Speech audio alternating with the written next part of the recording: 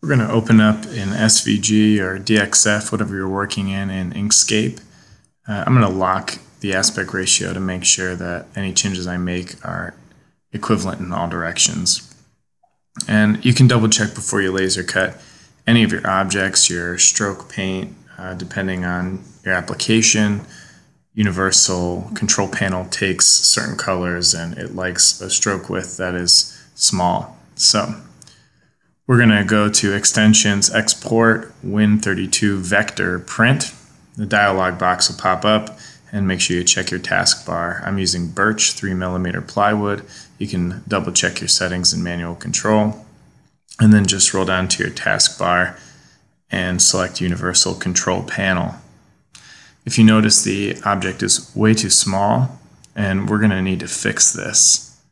So we're going to look at our one of our dimensions and we're going to change the aspect ratio of our drawing.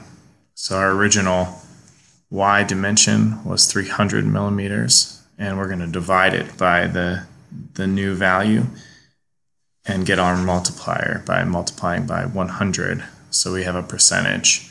I'm just going to copy that straight from the calculator and go back to Inkscape. I'll use my transform tab, select everything with control A, scale proportionally, and then I can just highlight the width or the height and change it since my percentage is going to be the same. Hit apply and then give it a second to do its thing. And there you go, everything has been transformed by 378% or so. I'm going to go to document properties, make sure that I resize my page to drawing.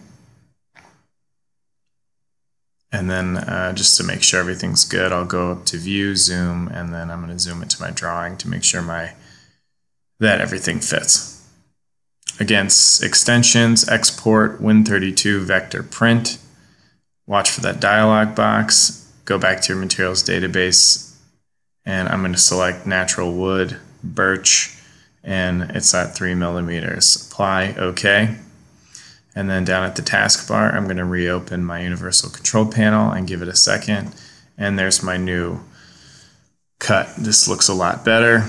Just to double check my dimensions, I'm going to hover over and place the top corner in the origin. And then I'm going to select the bottom corner and make sure my dimensions meet up. And they do. So we've successfully scaled this.